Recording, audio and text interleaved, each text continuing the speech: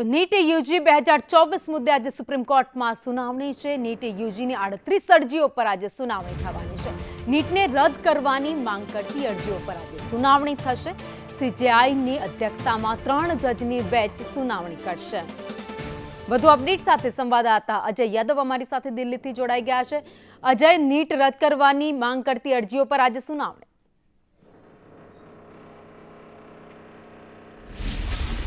देखिए, निश्चित तौर पे नीट यूजी का जो एग्ज़ाम हुआ था, उसको लेकर के जो विवाद शुरू हुआ है, उस मामले में आज बड़ा दिन है, क्योंकि चीफ जस्टिस की अगुवाई में तीन जजों की बेंच इस मामले पे सुनवाई करने जा रही है।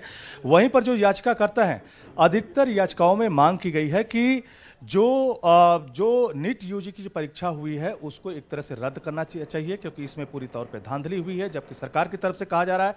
अभी शुक्रवार को ही सरकार की तरफ़ से एक हलफनामा दायर किया गया और कहा गया कि इस परीक्षा को किसी भी सूरत में रद्द नहीं करना चाहिए और उसकी वजह सरकार ने बताई है कि जो भी लोग इस मामले में लिप्त हैं उन लोगों की धरपकड़ जारी है। मामले की इंक्वायरी चल रही है सीबीआई गठित कर दी गई है और खुद एचआरडी मंत्रालय की तरफ़ से एक ज्वाइंट कमेटी का गठन किया गया है। वो भी एक कमेटी जो है इस मामले में जाँच पड़ताल कर रही है। लेकिन कुछ जगहों पे अगर परीक्षा की गड़बड़ी पाई जाती है तो ऐसे में पूरी परीक्षा को रद्द नहीं करना चाहिए क्योंकि इस कहीं ना कहीं चौबीस लाख बच्चों का एक तरह से इस बा, इस नीट यूजी का एग्ज़ाम दिया था तो उसमें जो भी बच्चे एक खास रैंकिंग में आए हैं उनके कैरियर के साथ नुकसान नहीं होना चाहिए। तो एक तरफ़ जहाँ केंद्र सरकार इस परीक्षा रद्द करने का विरोध कर रही है, वहीं पर जो याचिका करते हैं, उनकी तरफ़ से स्पष्ट कहा जा रहा है कि चूँकि इस मामले में जगह जगह पर धांधली पाई गई है, पर पेपर लीक हुआ है, इसलिए इस परीक्षा को किसी भी सूरत में रद्द करना चाहिए ताकि जो भी मेहनती छात्र हैं, उनके साथ किसी तरह का धोखा न हो।